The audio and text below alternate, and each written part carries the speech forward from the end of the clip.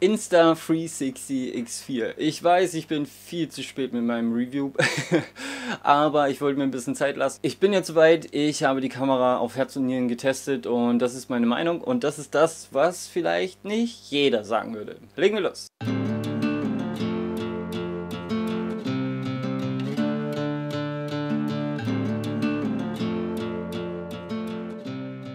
Ich bin Daniel, ich bin Sportfotograf und Wingfoiler und Action-Kameras begleiten mich schon eine ganze, ganze Weile. Es war tatsächlich nur eine Frage der Zeit, bis ich auch mal meine Hände an eine Insta360 bekomme und ich muss für den Anfang sagen, es ist auf jeden Fall erstmal äh, eine ganz andere Bedienbarkeit als GoPros. Das ist das schöne Stück, das ist die Insta360 X4. Was mir auf jeden Fall schon mal den Arsch gerettet hat, sind hier vorne diese Kappen. Tatsächlich ist da schon eine Variante von hinüber und das ist ein äh, Zweit- oder Dritthersteller praktisch die diese Linsen machen. Ich hätte mir auch bei den Originalen tatsächlich gewünscht, dass die ein bisschen besser rausgerechnet werden. Das ist so, äh, man sieht im noch ein bisschen Lichtreflexion und äh, auch Fleckchen, wenn welche drauf sind. Ich wünschte, das würde ein bisschen besser funktionieren. Das ist, äh, wenn ihr die Linsen freisetzt, ist das einfach ein klareres, schöneres Bild.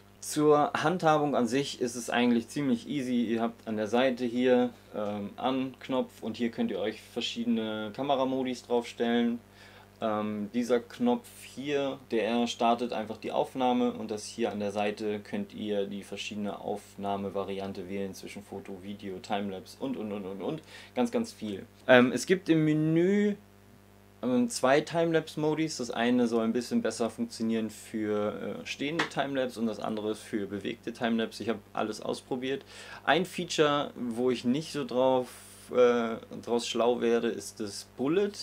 Bullet ist irgendwie eine super duper Slow Motion, aber die nimmt nicht in 360 Grad auf. Oder ich mache immer irgendwas falsch. Und ich kann irgendwie nicht entscheiden, welche Seite der Linse dann tatsächlich aufnimmt. Äh, heißt, es ist super schwierig auf dem Wasser damit zu filmen. Wenn, wenn ich pumpe und dieses Bullet anhabe, dann drehe ich die Ka eine Seite der Kamera dahin, wo ich praktisch hinfilmen will, weil ja nur eine Seite filmt. Und irgendwie ist es immer die andere. also ich weiß nicht, woran das liegt. Ich habe das ein bisschen hin und her probiert. Ähm, das ist so ein bisschen die Schwierigkeit, die ich damit habe. Ansonsten filme ich zu 85% in ähm, 5,7 plus äh, K. Das funktioniert für die schnelle Bearbeitung auf dem Handy und ähm, dann mit den Dateien einfach am besten. 8K super groß dauert ewig, aber wenn man irgendwo weiter reinzoomen will, ist das natürlich auch ein äh, grandioser Vorteil. Ich habe es jetzt aber tatsächlich eher weniger benutzt. Und beim 4K 100 Frames ist zu beachten, dass wenn ihr damit filmt, dass ihr das auf jeden Fall auf der App direkt in Slow Motion habt. Aber sieht geil aus. So, und äh, die nächste Schwierigkeit, die ich bei der Insta äh, gesehen habe, wenn man von einer anderen Actioncam kommt, ihr habt eine ganz andere ähm, Kameraaufnahme, also äh, Aufnahme. Das ist eine normale Stativschraube. Das ist geil, weil das ist super stabil. Aber ihr müsst das halt irgendwie adaptieren, wenn ihr so Action-Kamera äh, Zubehör benutzen wollt. Also wenn ihr die zum Beispiel an der Brust tragen wollt und die soll hier hängen, dann braucht ihr irgendwas, äh, wo ihr dann praktisch das an Actioncam kriegt. Ich hatte am Anfang äh, zwei, zwei Plastikteile. Das eine, das sah so aus das eine sah so aus, man schraubt das oben in die Insta und unten kann man dann adaptieren. Das Plastikteil, was ich dafür hatte, das hat nicht lange gehalten, das ist abgebrochen und dann äh, konnte ich eine ganze Zeit lang nicht die Kamera so nutzen, wie ich sie nutzen würde, weil ich kein adaptiertes Gerät hatte. Jetzt habe ich mir die Dinger hier geholt. Die hier sind aus Metall, heißt also die stabilisieren sich selbst und aber auch die Plastikanschlussteile safer, okay? Wenn ihr da irgendwie Zubehör kauft für die Insta, die ist relativ schwer als Actioncam und die muss ein bisschen was aushalten, deswegen kauft dann nicht irgendwie einen Plastikrotz, sondern nimmt da irgendwie Aluminium oder irgendwas stabileres. Ich habe auch ein anderes Plastikteil gehabt, das ist das hier. Das wird mit einer Schraube hier so festgemacht und dann könnt ihr das praktisch so auf eure Sachen setzen. Funktioniert auch. Das Problem ist, schwere Kamera, Plastikteil. Und ich hatte sie am Selfie-Stick und habe äh, die Linsen sauber gemacht und wollte den so weg, so ein bisschen ausschlagen und Raums kaputt. Äh, dementsprechend auch hier Plastikteil. Ist eine gute Idee, aber macht es stabiler für die Insta, weil die ist schwer. Ich fahre also mit den Dingern grandios, die kann ich hier unten reinschrauben und benutze alle meine anderen äh, Mounts, die ich eh schon überall kleben habe. Jetzt gibt es bei Insta den, diesen Invisible Safety Stick, der glaube ich fast 140 Euro kostet. Und ich habe mich gefragt, okay, ähm, an sich die Kamera ist schon größer. Also bei der GoPro ist immer so, man braucht so ein bisschen Range, dass die vernünftig äh, stitcht und alles, was unter ihr ist, praktisch rausschneidet. Äh, das habt ihr hier eigentlich schon. Müsste also sein, dass der Selfie Stick gar nicht so lang sein muss. Deswegen habe ich drei unterschiedliche Dinge benutzt, weil äh, ich benutze sie ja hauptsächlich im Wasser. Also war mein erster Versuch dies Ding hier.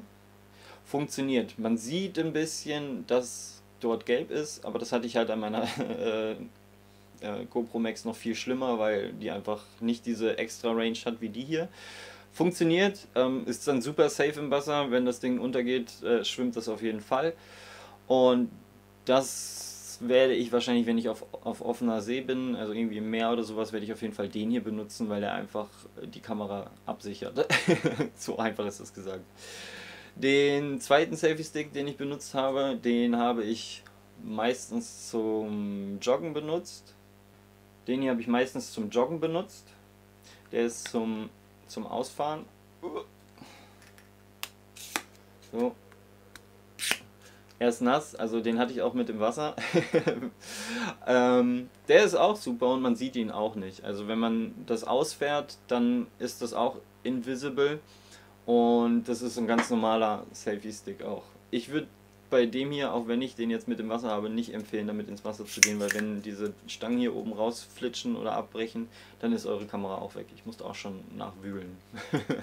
der Selfie Stick, den ich am meisten benutzt habe, das ist der hier. Der ist auch noch praktisch in Nutzung. Das ist äh, ein Carbonrohr das habe ich mir mal selber gebaut. Das ist praktisch hohl von innen und abgedichtet. Und hier oben drauf ist im Grunde die Halterung, die damals regulär für GoPro war. Jetzt habe ich auch dieses Metallding, habe das hier oben drauf. Und wenn ich die Kamera zum Filmen brauche, drehe ich die einfach hier rein. So, mache das hier drunter fest und dann kann ich schon loslegen. Super coole Variante. Der ist auch noch mal ein bisschen länger als der ausgefahrene Selfie Stick so. Äh, ich hatte gehofft, er schwimmt. Normalerweise schwimmt er auch. Dieser tut es nicht, weil die Kamera zu schwer ist. Also da ist zu wenig Volumen drin, dass die Kamera nicht untergeht. Aber es ist trotzdem der Stick, den ich im Wasser benutze. ähm, ich stecke mir den, wenn ich starte oder wenn ich am Wing bin, stecke ich mir den hier hinten rein. Kann dann die Kamera auch schon anmachen, weil es ist auch ein cooler View, einfach wenn die hinten im, im Neo oder in der Weste steckt. Und wenn ich dann fahre oder auf die Welle gehe oder pumpe, dann ziehe ich die hier raus und kann ich dann die Richtung halten, wo, wo ich sie irgendwie hinhaben möchte. Wassersport und Insta360 vertragen sich meiner Meinung nach nicht ganz so. Ich hatte zum einen das Problem mit den Lenscaps, die kann ich im Wasser einfach nicht tragen, weil die sofort anfangen zu schwitzen und sofort beschlagen. Heißt also, wenn ich die Kamera wenn ich mit der Kamera im Wasser oder auch im Regen filme, muss ich die Dinger abnehmen, weil früher oder später ist, siehst du dadurch gar nichts mehr. Ist nicht so das Problem, ist nur schade, weil die Dinger halt zum Schutz der Linsen da sind und ich tollpatsch das Ding auch mal im Wasser gegen den Stein hämmer. Und dann hätte ich gerne diese Linse da drauf. Ansonsten finde ich die Dinge aber trotzdem super, super sinnvoll, gerade wenn man nicht im Wassersport unterwegs ist und viel mit Dreck zu tun hat oder äh, die Kamera vielleicht sehr nah am Boden platzieren möchte, ist es einfach ein, ein Game Changer zum Leben retten, ähm, weil sonst haut man die Dinger kaputt und dann ist die schöne 600 Euro Kamera hinüber. Ähm, des Weiteren im Wasser ist mir aufgefallen, äh, weswegen ich auch da so ein bisschen von abrate, die für Wassersport zu nehmen, ähm, die Benutzung des Bildschirms. Also das ist ein Touchscreen, der funktioniert eigentlich grandios, man kann da super hin und her swipen, äh, das stockt nicht oder sowas. aber sobald wieder Wasser drauf ist, äh, ist das wieder vorbei. ähm, es ist, kommt auch schon mal vor, dass von hier oben ein Tropfen runterrutscht und dann halt einfach das Menü angeht. Und man kann eine Tastensperre reinmachen. Das funktioniert bei GoPro eigentlich auch immer richtig, richtig gut. Hier ist es leider so, dass man einfach nur wieder hochswitchen muss, wenn die Tastensperre drin ist. Heißt also, ich mache die Tastensperre rein und ich ziehe das Ding durchs Wasser und hier geht so ein Wasserfilm rüber und dann ist die Kamera wieder entsperrt und kann sich wieder verstellen.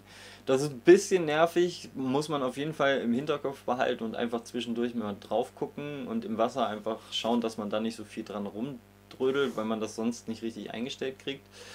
Also kurzum gesagt, das ist eine grandiose Kamera, mit der ihr ziemlich geile Action-Aufnahmen machen könnt in Blickwinkeln, die vielleicht noch unerforscht sind. und Wassersport geeignet ist sie ein bisschen weniger aufgrund des Beschlagens hinter den äh, Linsenschutz und der schlechten Bedienung dann des Bildschirms. So, ich hoffe, es hat euch gefallen, mich da so ein bisschen schwitzen und äh, Sport machen zu sehen. Und generell die Informationen haben euch noch ein bisschen weitergeholfen. Wir machen jetzt Feierabend. Vielen Dank, dass ihr bis hierhin durchgehalten habt. Unten in der Videobeschreibung findet ihr einige Links, zum Beispiel zu meinem kostenlosen E-Book für Fotografie, Anfänger und Fortgeschrittene. Schaut doch mal rein, äh, lasst gerne mal ein Feedback dazu da und dann würde ich sagen, sehen wir uns nächste Woche zu einem neuen Video wieder. Bis dahin, gutes Licht, guten Wind und tschüss!